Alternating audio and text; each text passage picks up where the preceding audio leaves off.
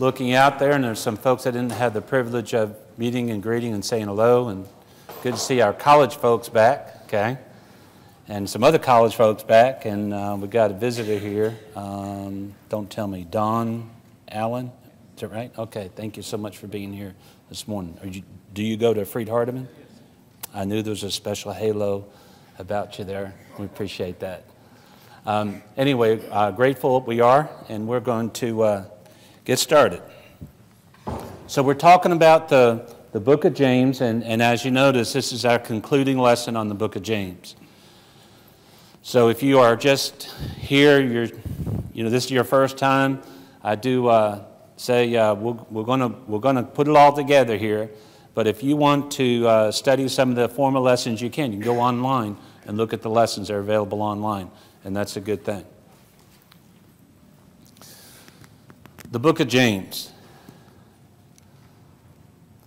This is a, a picture of a model made of the city of Jerusalem. And uh, history tells us that James, as we know in Acts chapter 15, he was uh, a leader, or a, he was a leader in the church at Jerusalem. And uh, he was part of that council that they had. You may remember that. What's interesting about this, this is portrays the temple and the area where uh, people would meet. But there's a, a very interesting thing about, um, about James. Now I'm going to lower this down, and someone please low, put it back up when we're done. Uh, this is uh, uh, um, from, from some history. Actually, it's uh, Hegesippus in his commentary. He did a commentary on the apostles, or he did some writing on that. But um, he stated that uh, James the Just, that's how he uh, became to be known, he went alone into the temple and prayed in behalf of the people, insomuch that his knees were reputed to have acquired the hardness of camels' knees. James, according to this passage, according to this record, prayed so heavily and so much and so often for God's people that his knees, you know, were affected. Um, would that we all would have that attitude. Now, we don't, we don't have video of him doing it, but we have that record. We also have another record of James, and that is his participation in this book brought to us, which is probably one of the most powerful books that we have in practical daily living as a Christian, the Proverbs of the New Testament, the book of James. When we think of the book of James, we know that we have to put, just like our life and our thoughts, there's a, there's a, there's a chronology to it. And so, um, and when we look at Bible history from the beginning all the way through here to the New Testament, this is the section we're talking about. And if I could kind of blow that up, we know that um, Jesus, the master teacher, went about in James, um, this James, we are believing is Lord's brother. And um, we, we get the general idea that either 45 to 65 AD is when this letter was written. And of course, in 70 AD, Jerusalem was destroyed. So, James, the Lord's brother, is giving us this book and we have had the privilege of studying through it, beginning with Brother Chad and, and his getting the class off to a good start. And I was asked to take over for him so he could teach more about apologetics and the authenticity of the Bible to the teenage, teenagers. Um, and then Brother, uh, um, Brother Robert taught a class while I was gone. And so we're finishing it up today. So before we get started, any questions or comments?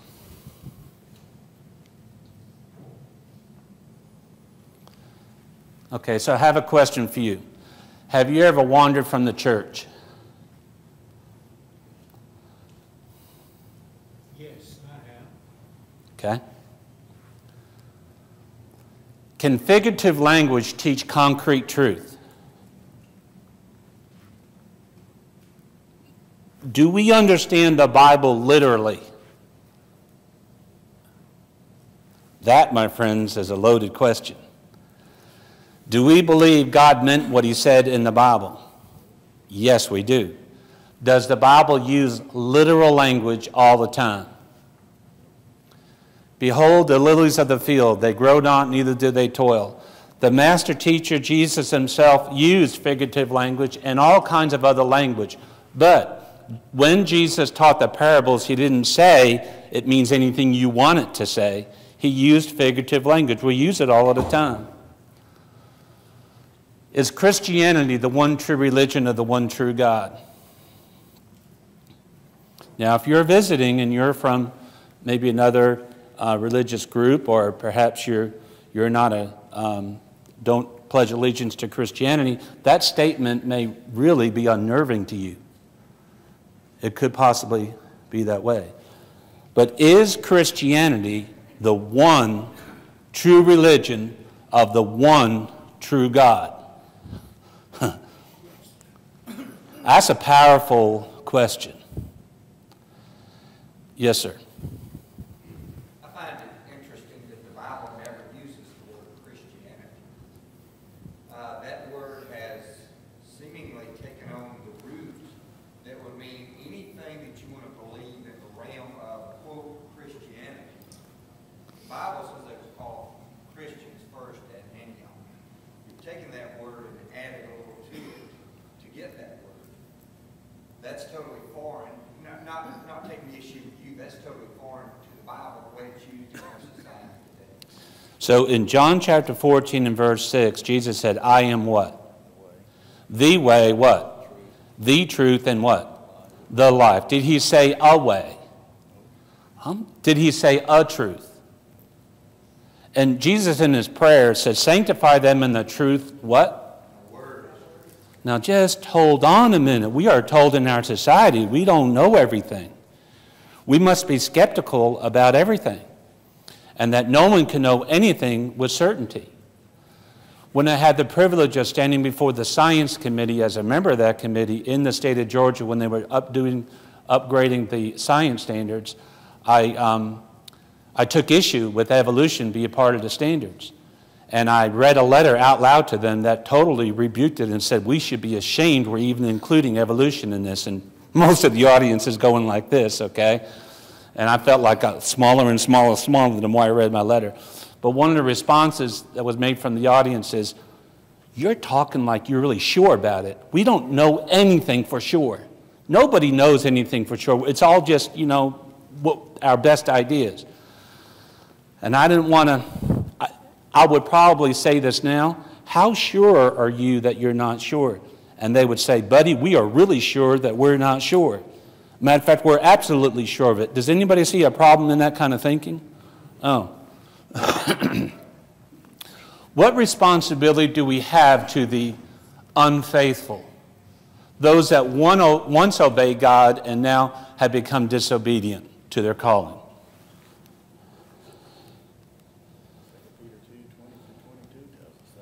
What's it say, brother?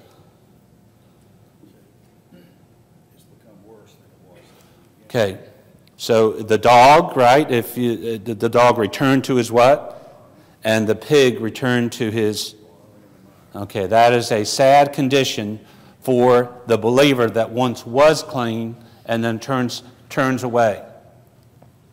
What responsibilities do the unfaithful hold to themselves?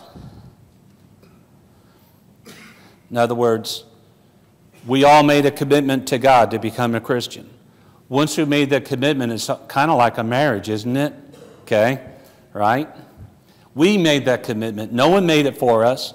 And we, we didn't commit ourselves to the idea of God, we committed ourselves to the one true God. And so, if we are becoming unfaithful, like an unfaithful spouse, we have done it by ourselves. And do we have responsibility for our actions? Can we blame somebody else? You know, you've heard the saying whenever you point to somebody else, you have some other fingers pointing back to yourself. When will the outreach to the lost and erring be completed? Class?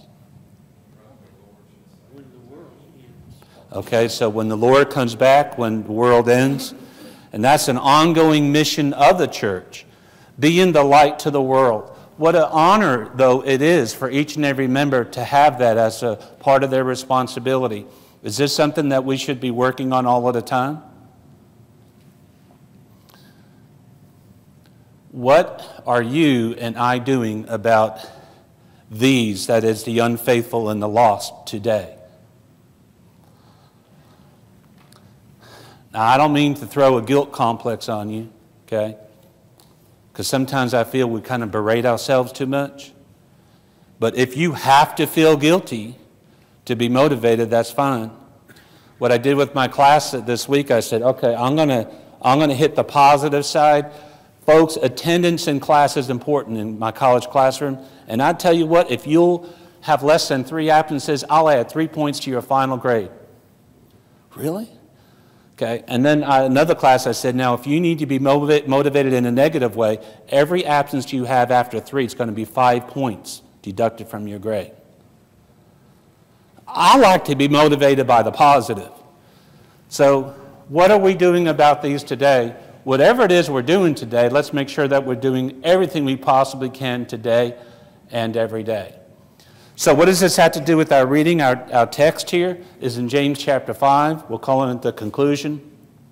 Brethren, if any among you wanders from the truth and someone turns him back, let him know that he who turns a sinner from the error of his way will save a soul from death and cover a multitude of sins.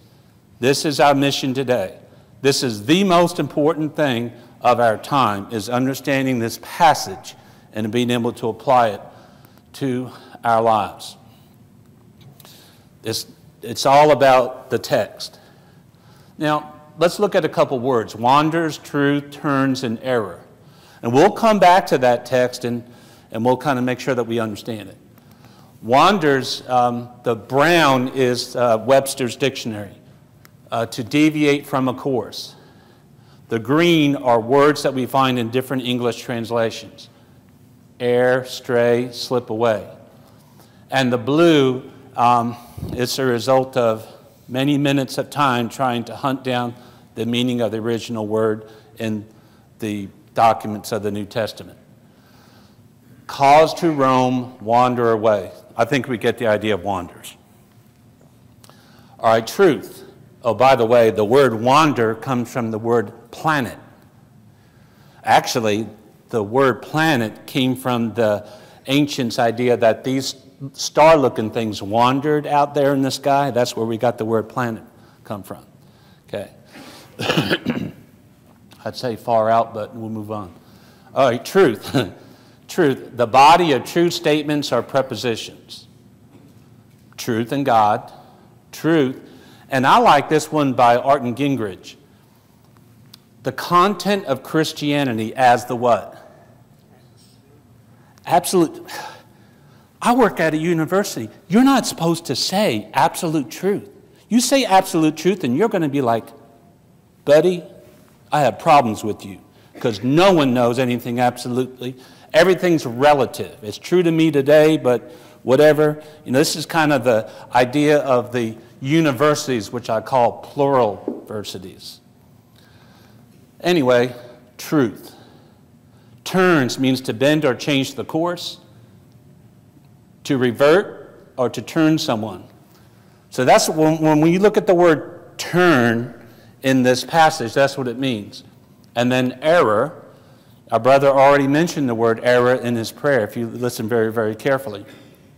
An act or condition of ignorant or imprudent deviation from a code of behavior. Parents, do your children ever err? Teachers, your students at school, do they, do they ever err? How about us, right? So, error, fraudulence, a wandering from the path of truth.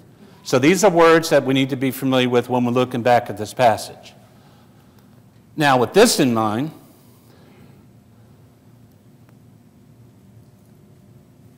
would someone want to summarize this passage? Who can summarize this passage? Say it in other words. Well, it happened to me.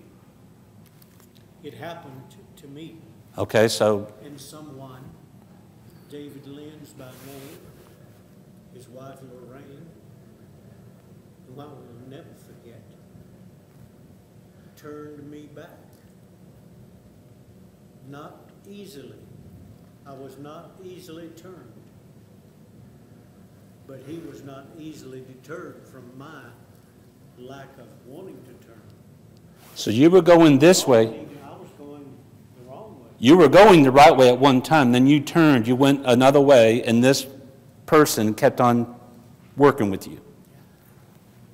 About six and a half, seven months. So you're a living example to this passage. Anybody else?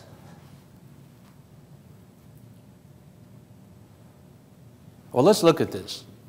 What's the subject of this passage? It's one sentence, right? What's, what's the subject?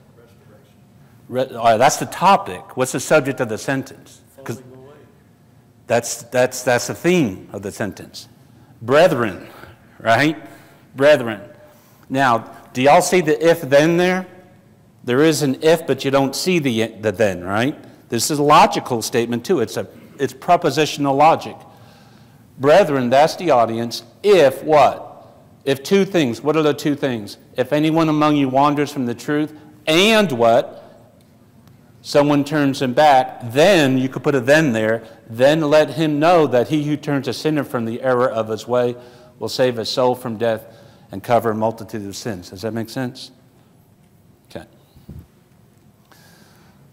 All right, so if I was going to summarize it, brothers or sisters, if any member roams from the way and one of you turns him back, let him know that that person that he, uh, that he has caused his return will save her soul from death, from hell, and cover many sins. That man that you just mentioned did a great service. I think so. You personally invested in that and covers a multitude of sins. That's tremendous. Now, here are some passages that are related to this topic, and the topic is restoration, reaching out to those that have fallen away. Um, Uh, Galatians 6:1, you remember that passage says, He that is spiritual, right? Let him reach out. Hebrews 12:2, we should be looking to Jesus. John 8:31, the truth shall what? Shall, shall set us free. Uh, 1 Peter 1:21 talks about your obedience to the truth, the gospel. First uh, Chronicles chapter 28 talks about Solomon and that if he would just stay true to God and not wander away. Galatians 5, verses 2 through 4. The Bible says, Ye that are, um, let, us look at that. Galatians 5. Everybody turn there. We were already in the book of Galatians, right? This morning. By the way, Galatians chapter 1 says there's what? Many gospels? There's one. That's narrow minded. You know, you're narrow minded if you think there's one gospel. Oh, I don't want to be narrow minded. I bet uh, maybe there's other things, okay? How easily we are swayed from that truth. So, anyway, Galatians 5 and verse 4. You are severed, you that will be justified by the law. You are what? Fallen what? Does fallen from grace sound like a good condition to be in? No, we, we would all say no. Okay. And then we have uh, uh, Timothy, where we have uh, uh, Hymenaeus and, and this other gentleman that, that went away. And there's some other passages there. Uh, Daniel 12 and verse 3. Let's have someone read that. I need someone to read Daniel 12 and verse 3, and I need someone to read Proverbs 11, verse 30. Who'd like to read the Daniel passage? Okay, we got uh, Brother Spake who'd like to read the Proverbs passage. Okay, we got a brother right here, Brother Scott. All right, as soon as you get to that, let's look at Daniel.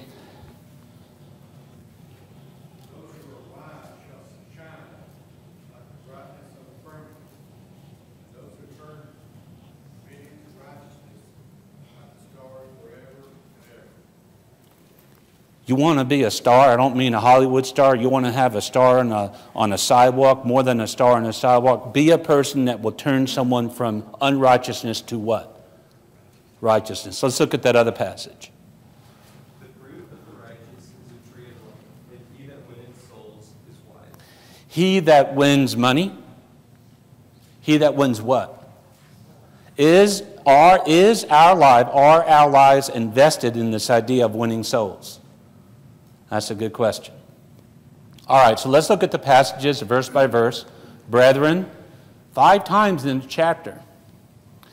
Now, if any of you errs, son, son, if you go over the speed limit, this is what's going to happen.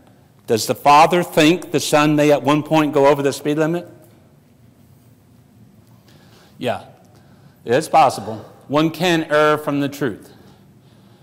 You can gradually move away from the will of God. It could be a gradual thing. And one of the key things is doubt about the authority of God's word. That, that's just so such a simple thing, a little doubt, and uh, you're on your way in a lot of cases. Or you could be swayed for, by somebody else. So you can yield to temptation or fail to exercise caution. Um, this is assumed to be true. It's assumed this is going to happen. Brethren, brothers and sisters, listen. Now, the Bible talks about people that have erred. They left their what? They, uh, they're an unfruitful branch, the foolish virgins, and you're a spiritual adulterer. We don't like to think about that, okay? But that is Bible language. So this is what he's talking about in this verse. If you err, err from the truth. Now, if we want to be right with God, there's two ways to be right with God. If I'm not a Christian, I could become a Christian. Here, right? What's next? That's right, believe. We got to what? Repent. We have to what? Confess, and we need to be what? Okay, so, or if I'm an erring child of God, I repent, confess, and pray. We talked about confession the last time, right? Okay. Now, we are ever in danger of forsaking the truth and falling into sin. We are. Okay, now there's this belief that you never can be. What's that called? Once saved, what? Always saved. Okay? Now, Paul had seen um, this happen with his own brethren. Our brother just read the passage from Galatians chapter 1 that makes it abundantly clear. By the way, those brothers, those Galatian brothers, did they move away from the gospel? Yeah, he says, I'm surprised you so soon moved away from the gospel, which is not another gospel. All of these passages right here talk about falling away. You can fall away from the truth. You can fall away from God. There is no once saved, always saved. There's once saved and then I, I was saved at one time. I mean, we can say that. The pig was washed at one time, but we can fall away. Now, I know we've, we've had some real powerful preachers up here that try to really, you know, scream it at us or help us in any way possible to understand we can fall away. That is a false doctrine. Not only is it a false doctrine, it gives deceiving comfort to those folks whose soul is in jeopardy. And, and that should anger us that anybody would want to follow that. All right. From the truth. Truth is important. I swear to tell the truth, the whole truth, and what? Is there truth? This is our cultural, this is where we are in our culture. The secular humanist has pushed so hard in his worldview, and now we have uh, this idea of plur, plur, plurality that there, any religion is okay. The truth is important. We are, as Christians, begotten by the truth. We're purified by the truth. We're saved by the word of truth. We are made free by the word of truth. Truth. Truth is important. You remember Jesus before Pilate? And Jesus said, For the truth I come into the world. And Pilate said, What is what? What is truth? Boy, he must, he's like a 20th century, 21st century man. What is truth? People are asking that question in our society, and this is the answer. The answer is the Bible talks about the truth. Truth is something that must be what? It's not academic only. It's academic, we need to understand it, but it's more than just academic. It's not just the searching of the mind. I hope to find the truth someday. It's not only something to be studied, we want to study the truth, but a man must submit his mind to the truth. The fear of the Lord is the beginning of wisdom, but fools despise wisdom and instruction. Proverbs 1 and verse 7. How much of our lives should be submitted to the truth? Only at church, right? I mean, Paul, writing the, to the Colossians, said, what, Whatever you do in church, in word or deed, do all to the glory of the Father. And then, then what he said? Is that what he said? What did he say? Whatever you do, he didn't say in church. Does that mean in our secular life also? Are you telling me I need to obey God and recognize God's authority and the will of God through the Bible and other things in my life when I go to school? When I'm on my job? When I'm driving in the car? And I get run off the road by a big 18 wheeler? No, just kidding. So, our whole life, our response, our reaction to the truth, we need to love the truth. We need to obey the truth. we need to display the truth to others and speak the truth what? Ephesians 4. Speak the truth in, in love. Okay? Speak the truth in love. Manifest it in our life. Isn't that what that person did with Brother Jim up here? Hey, you're not going the right way.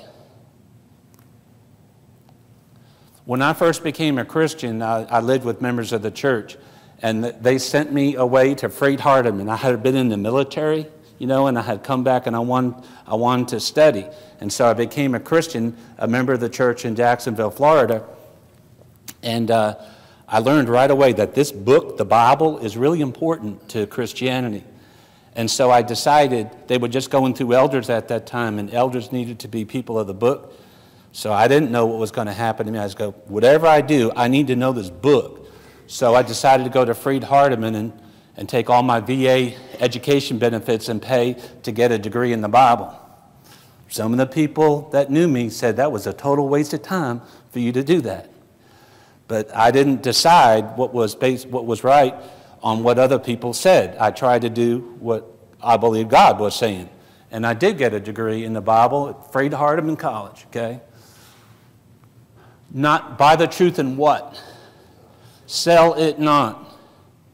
Can we sell ourselves out on the truth? Okay. All right, now study it. Give diligence to show thyself approved unto God, a workman that needs not to be ashamed. What? Rightly dividing. Now, there was a member of the church in Covington, and he was a man that cut cloth. They called that name. He did it for like a long, long time, years. And that word, rightly dividing the truth, is a word describing someone cutting cloth right down the middle. You're not deviating to the right and you're not devi- deviating to the left. That line has been set, and that line has been set by God.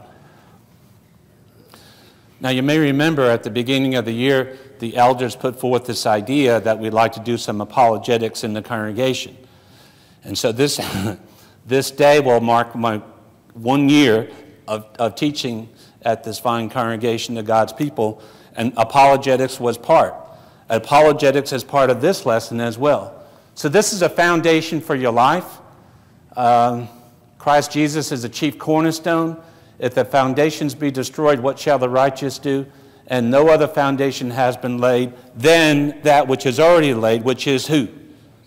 Okay. So, Jesus is a cornerstone. Now, here's those blocks. And what these blocks represent is the most foundational truths that you are striving to base your life upon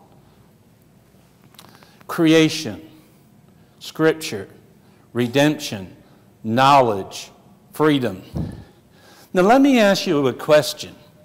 If the world is just material, if the world is just material, is there any sense in morality? If the world is just material, could there be any uniformity in nature? No, because it would be changing all of the time. The world does show uniformity, therefore, materialism is a false view of reality. you saw this before, so I just want to make the point. All of reality, all of reality can go back to God.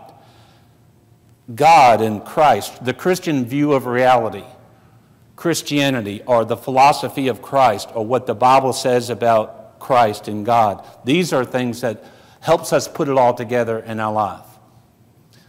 Um, now, I'm just kind of just get through here. But my point is, is that you want to base your life upon God's view of reality. Now, if you look on the news, you notice a lot of bad things are happening in our world. Am I right? I believe the reason why a lot of bad things are happening in all of these areas of life, even America, folks, is because people have removed Christ as a cornerstone and have put man or some changing thing in there and are just trying to just go with the flow and they are not helping the situation. Brethren, if any of you err from the truth and someone convert them, we all have a duty, we have a responsibility to turn, help turn the person away. It's, we're not turning them away, we're just spending some time with them to help them to see where, what, what they're really doing. Can you say that another way, real quick? Yes. At one time, I was engaged to somebody besides Lisa. And someone took me aside and said, Do you really want to marry this person? I didn't like them coming to me. You know, it's more comfortable for me to do what I want to do. And I'm glad they did, okay? Because 29 years later, we're going in the right direction. All right. So let him know So if we realize when we get turned away from God, we're simply deceived. Y'all like the Transformers? You know, there's the Transformers and there's the Decepticons, okay? Always trying to deceive us. Save a soul from death. This is a spiritual type of death. You've seen this chart before, so I'm just going to say to you hey, we're all human. We become saved, but we can become disobedient. Where will the disobedient go after death? We already had that conversation, okay? We already had that conversation. So when is the time to talk to the disobedient? Okay. I'm just going to move on. So we need to share in this work. Jesus, uh, our sins are covered by the blood. This takes us back to the mercy seat that we talked about on Wednesday the great power, wisdom, and awesomeness of God can hide our sins. By the way, this is the end of the letter, and this is the, kind of toward the end of our time together. Our study of James ends talking about helping people to be in the soul winning business. Coffman says there's no signature here. James, it's not about James, it's about a man bending his heart to God willing to get on his hands and knees and pray for the people of God. Brother Wood says this ends one of the truly great documents of the New Testament. I like what this says a man with compassion and vision. This man we call James. So, how about some application? Which one of these is an important thing for us to talk about as we wind it down?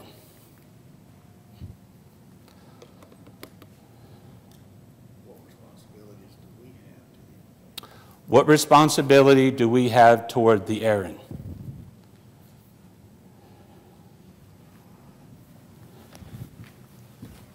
Who painted that picture? Who made these curtains? Who made the tiles in the foyer? Dave McGuckin, right? Now, I didn't know that man, but when I came here, I came to realize that man had a lot of talent. And this man has erred from the faith. Has he not? So I did what I could to find this man. And after getting lost three or four times, I found this house. And I tried to talk to this man. I'd love to say that the man said, Thank you for being here. I'll come back to church next time. But, you know, it's going to take a little bit more than that to get that man back in the church. It's going to take the church. Perhaps we can do more in this area of reaching out to those that have erred from the faith. Question or comment?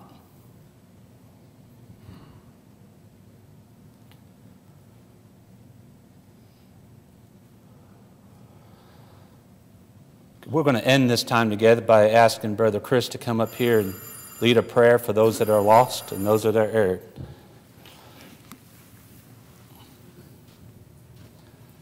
Father, we're thankful for this time that we have together. We're thankful for the diligence and the preparation that Brother Bob has done this entire quarter to present this fine book from thy word to us. Father, we realize that there are several that are unfaithful to thy church. We know who they are, we know where they live. Father, may we take initiative upon ourselves and realize that it's not just the preacher or the elder's job to do it. We all have part in this that we can try to say an encouraging word, send an encouraging card, make a phone call, send an email, something that would let these folks know that we still love them and we want them back. Father, we pray for thy forgiveness. We pray for thy long suffering. We pray for more time for these folks to realize what needs to be done so that they can come back to their first love before it's everlasting too late. Father, continue to watch over and care for us, and when we find opportunities, may we seize them. Be with us as we continue thy worship in this place today. Forgive us when we fail thee. In Christ's name, amen. Amen. Thank you.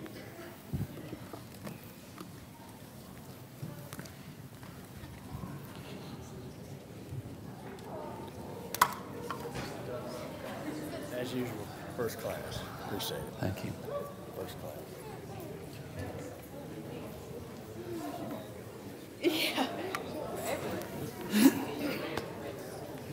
Thank you. I appreciate it.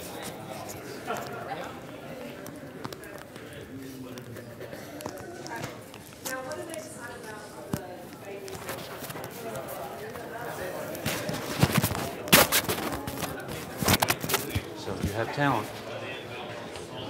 You have talent. I don't know. What is your talent? You have talent. You got to use your talent.